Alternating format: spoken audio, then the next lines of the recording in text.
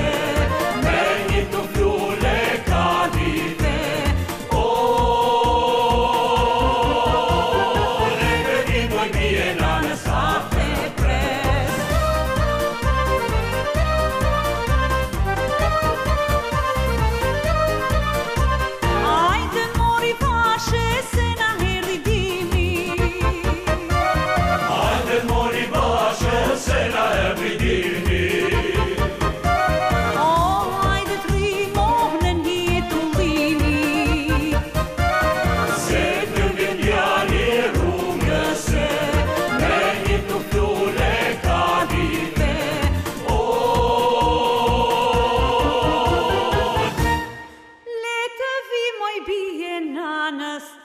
Oh.